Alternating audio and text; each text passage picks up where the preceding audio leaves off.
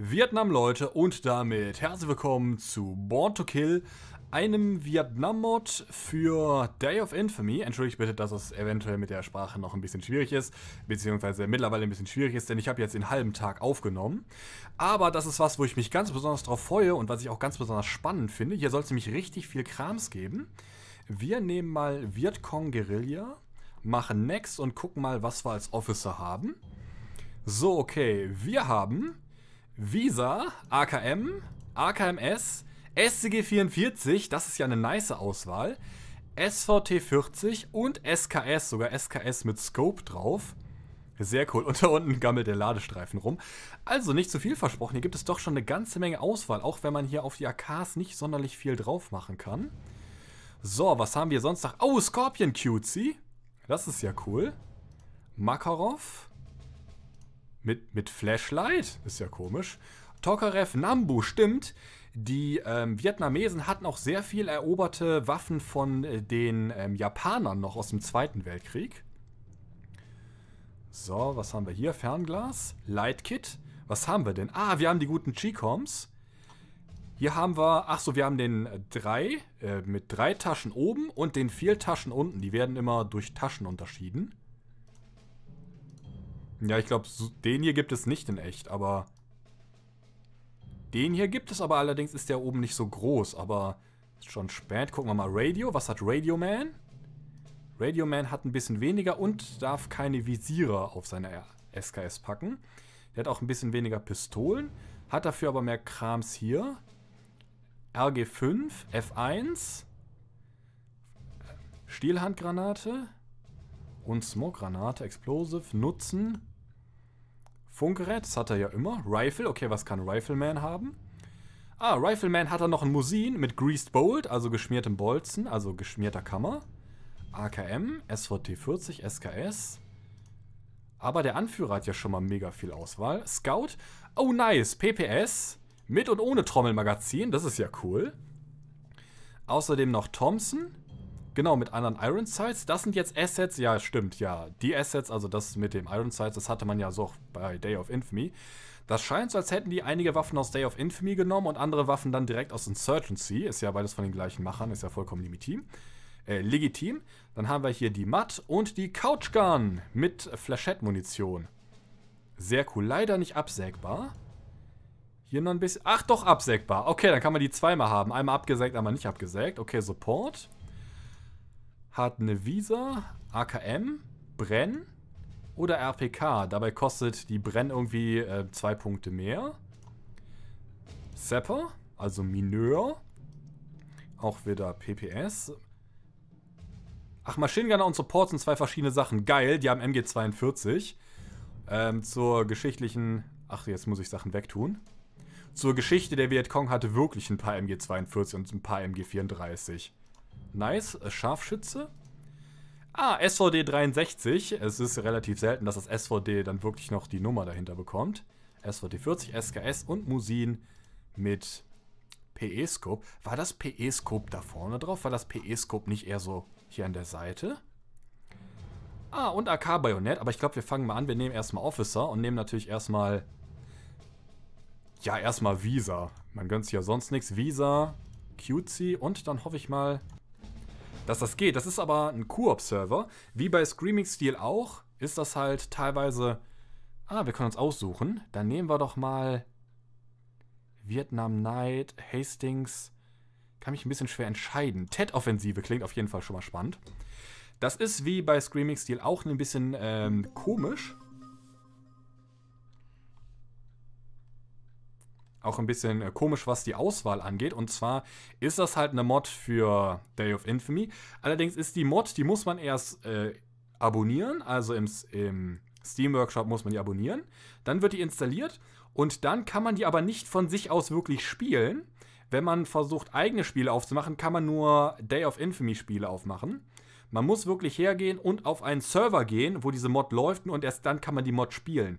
Man kann sich wohl auch selber mit einem Dedicated Server ähm, selber Server aufmachen, um die Mod dann spielen zu können. Das ist allerdings relativ kompliziert. Also jetzt habe ich schon fünf Minuten durchgequatscht. Dann gucke ich mal, wie das hier aussieht. Feindliche Maschinengewehrschütze und Scharfschützen bleiben meistens auf dem Schlachtfeld weiter hinten. Ja, das wäre auch intelligent, das so zu regeln. Kann ich hier joinen? Oh, jetzt, jetzt kann ich gar keine Vietnamesen spielen. Jetzt muss ich USA spielen. Egal, kann ich nochmal deren. Kann ich mal gucken, was die haben. Oh, der hat eins dieser ganz, ganz, ganz frühen, cutigen, kleinen M16-Modelle. So, der hat M16A1 mit sehr viel Auswahl, Tracer Ammo, Extended Magazines. Die meisten Leute äh, während des Vietnamkrieges, die hatten halt 20 Schuss Magazine und nur sehr, sehr wenige Spezialeinheiten hatten dann gegen Ende die 30 Schuss Magazine. Oh, das Bars PE Scope. Genau, das ist dieses Bars Colt 3x Scope.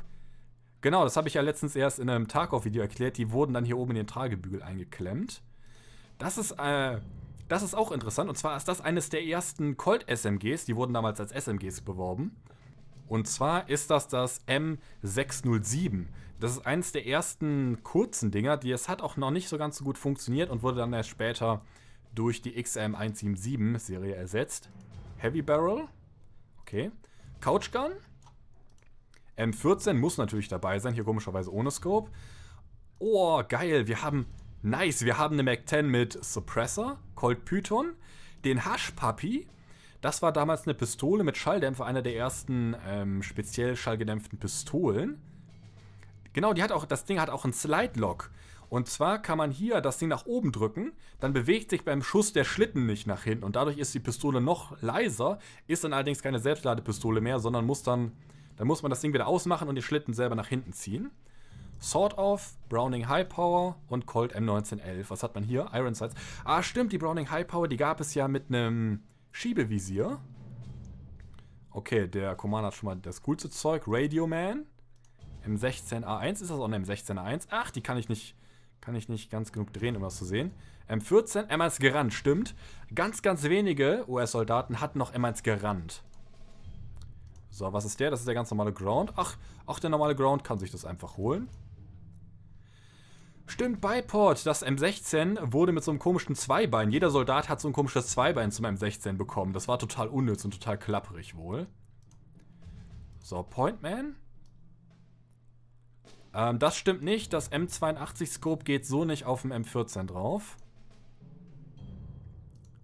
Okay, der Pointman hat hier schwere Sachen. Support. Okay, der hat einen M14 oder Bar. Der Flammenwerfer-Typ hat einen Flammenwerfer.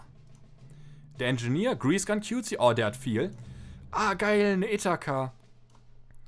Auch wie cool, eine Ithaca mit erweitertem Magazin. Die Ithaca war damals eine relativ gute Schrotflinte. Die ist auch extrem gut mit den Bedingungen in Vietnam zurechtgekommen, äh, zurechtgekommen weil äh, die Patronen werden unten reingeschoben, die werden beim Durchrepetieren allerdings auch unten ausgeworfen. Deswegen hat man kein äh, größeres Verschlussfenster. Und man kann Slugs benutzen. M1 Carbine mit vereinfachten Sights. Grease Gun Cutie haben wir schon gesehen. Oh, die Stevens. Das war auch eine Schrotflinte. Und zwar in Vietnam sind mehrere Schrotflinten benutzt worden. Stevens und die Winchester. Ach, das ist die Trench Gun. Komisch, dass äh, an die Ithaca ein Bajonett geht. Und an die nicht. Gunner. Ja, M60 und M1919. Okay, Marksman. Was haben wir hier? M14. Ah, das ist das richtige Scope. Das ist das Redfield Scope. Das ist wirklich auch dann mit der Genau, die haben das Redfield. Die haben das Redfield Scope. Das hatte übrigens so eine, so, so eine ganz komische Farbe. Erstmal mit M14-Gewehren ausgestattet. Also erstmal haben die M14-Gewehre mit dem Redfield Scope ausgestattet. Dann haben die gemerkt, dass die M14-Gewehre nicht präzise genug waren. Und dann haben die das M21 entwickelt. Aber wir wollen ja gleich noch spielen. Ach, das gute alte Springfield. Und auch mit Redfield Scope das M40 Scharfschützengewehr. Und auch noch eine ganze Menge Auswahl, aber ich möchte erstmal Officer nehmen. Ich möchte unbedingt dieses kleine QC haben. Ich würde mal sagen, mit erweitertem Magazin, sonst bringt das gar nichts. Und ja, darf ich noch von den Punkten her. Sehr geil. Mac 10 mit Schalldämpfer. Explosives. Oh, hier sind auch alle Granaten bei. Das ist mega vielfältig, das Spiel. Ich würde mal sagen, die gute alte Ananasgranate. Nochmal eine gute alte Ananasgranate. Lex. Jeans. Jeans. Bringt das was? Aber ich kann mir eine Brille holen für einen Punkt. Ja, mache ich das doch. So, dann bin ich mal gespannt. Wollen wir endlich spielen? So, noch ein... Hä, Moment. Hatte das schon einen Verschlussdrücker, das kleine Ding? Ihr seht ungesund aus, aber ich glaube, das kommt durch das Licht. Ich glaube, das wird gleich normal. Oh, ich freue mich schon drauf, das voll, voll drauf, das zu spielen. Ich habe hab nämlich voll lang gebraucht, bis ich rausgefunden habe, wie man das Spiel richtig startet. Oh, die Texturen haben nachgeladen. Jetzt sind die nicht mehr so grün. Ich habe nämlich richtig lang gebraucht, um das rauszufinden. Oh, ich bin so gehypt auf das Spiel. So, wo muss ich denn hin überhaupt? Okay, Ironside sieht realistisch aus, ist ein bisschen weit weg. Okay, er räuchert hier mal einfach. Er räuchert einfach mal das halbe Gebäude aus. Charlie! Okay, der Ruckstoß ist heftig mit dem Ding. Das wird Kong? Ich habe keine Ahnung, wo ich bin.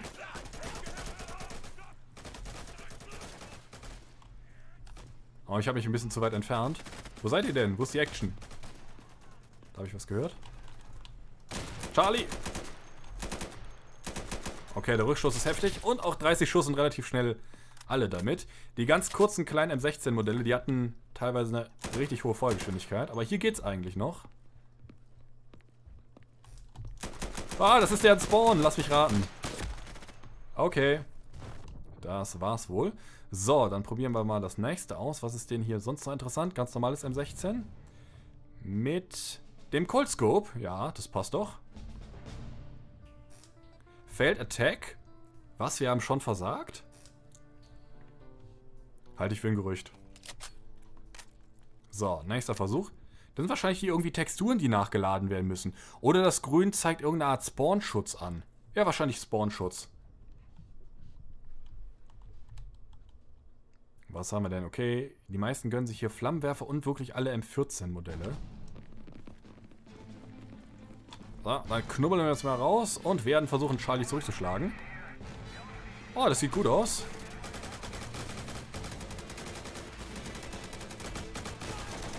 Wo ist Charlie denn? Ich sehe Charlie gar nicht.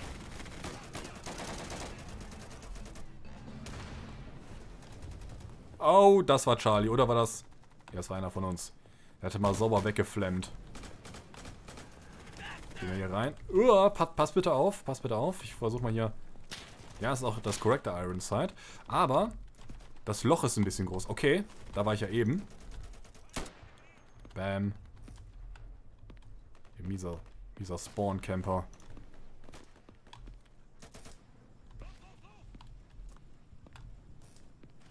Kann ich hier von hinten kommen? Ich möchte auch gerne jemanden mal mit der Mac-10 wegsägen. Die perfekte Waffe für die Schießerei in einer Telefonzelle Meme. Waren das Vietnamesen? Ich hoffe. Ah. Ah, stimmt, ich muss mich ja lehnen. Das ist ja ein Hardcore-Shooter. Also,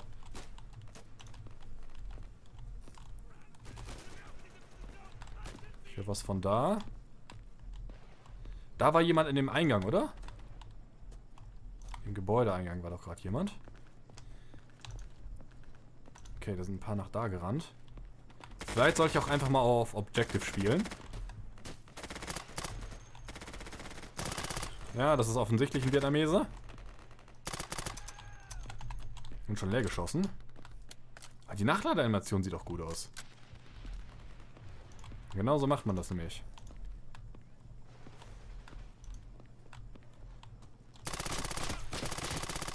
Oh Gott, hat die Rückstoß. Ja, kein Wunder. 45 ACP aus so einem kleinen Gehäuse rausballern.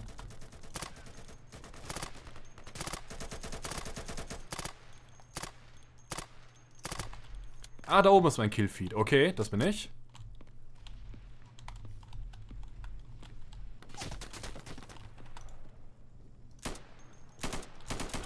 Ah, das ist einer, das ist auch einer. Verdammt, er hat mich. So, Radio. Nee, Radio hat nie was Besonderes. Grunt. Gucken wir mal, was der Grunt hat. Ich wollte gerade sagen, lass mal gucken, ob der mal Garant richtig dargestellt ist. Das wird aber sein, das ist eine äh, Day of Infamy Mod. Von da, was ist denn noch interessant? Pointman, hatte der noch was Interessantes? Support? Nicht unbedingt. Ähm, dann spielen wir einfach mal Grease Gun. Oh, hier hat er noch einen Granatwerfer. Also Granatgerät. Ich würde aber gerne... Eine Colt Python klingt spannend. Mit, mit dem Stubby-Lauf. Und Flashlight. So, wo ist mein Flashlight? Auf T? Ah, ich nehme erstmal Grease Gun.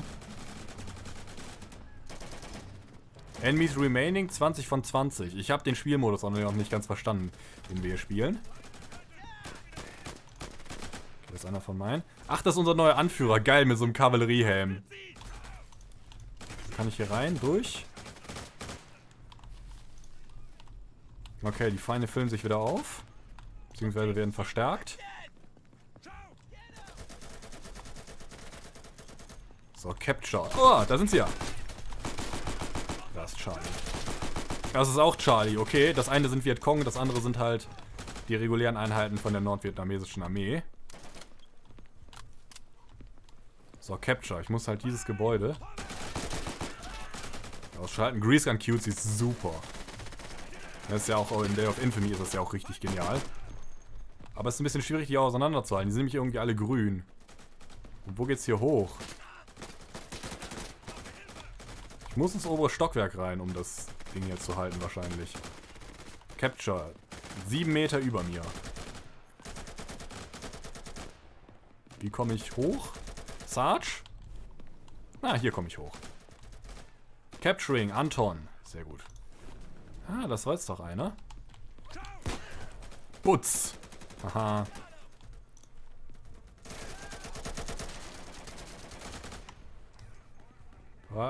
Ne, das ist ein Amerikaner. Das sah aus wie eine M14-Mündung. Wie wird er nachgeladen? Patrone für Patrone. Genauso wie man das macht, wenn er keinen Schnelllader hat. Ah, verdammt. Verdammt. So, aber hier noch irgendwas Cooles? Marksman. Also ein 14 mit Redfield Scope. Kann man sich ja auch mal gönnen. Verlieren wir automatisch, wenn ich sterbe? Ich, ich meine, das ist in, in Day of Infamy war das doch auch so. Ah, genau, das fette Redfield Scope. Jetzt haben die Vietnamesen keine Chance. Aber ich wollte noch mal gucken, was habe ich denn als Zweitwaffe? Hm, hm, hm, hm. Diesmal ohne Schalldämpfer, würde ich sagen. So, durchgeladen und weiter geht's. Gucken wir mal. Los, Johnny! Gib mir Deckung, Johnny! Ah, du hast genau das gleiche wie ich, also... Ah, geil, das ist sogar das richtige Absehen vom Redfield Scope. Hier mit diesen zwei Rangefinder-Linien. Ah, das war auch...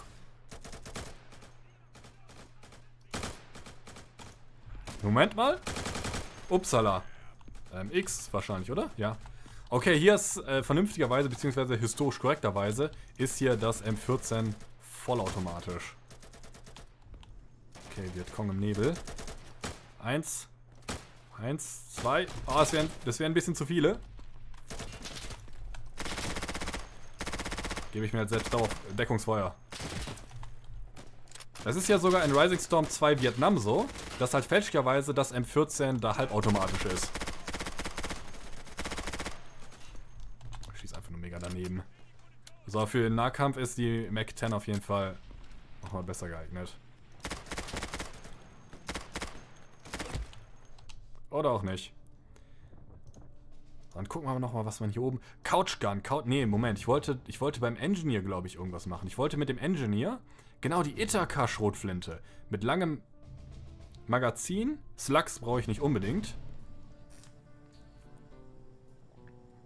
Ja, ich glaube, ich, ich glaub, wir verlieren, wenn ich tot bin oder so. Oder wenn ich zu lange im Menü rumgammel. Oh, die haben sogar einen Discord-Server. Nice. Übrigens Ehrenaktion von denen, dass sie überhaupt noch einen Server offen haben. Wie gesagt, wenn das Spiel keine Server mehr hat, dann wird das sehr schwer zu starten sein. Was ich ein bisschen schade finde, denn wir haben ja gesehen, die Waffenauswahl ist ja mega cool. Für eine Mod auf jeden Fall. Ich weiß, ein Großteil davon er kauft sich das Ganze dadurch, dass es halt Waffen aus Day of Infamy und Insurgency zusammenklaut. Aber hey, Hauptsache Waffen, ne? So, jetzt geht's erstmal hier rein.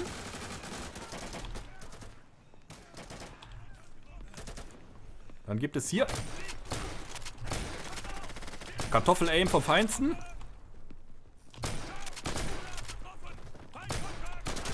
Ja!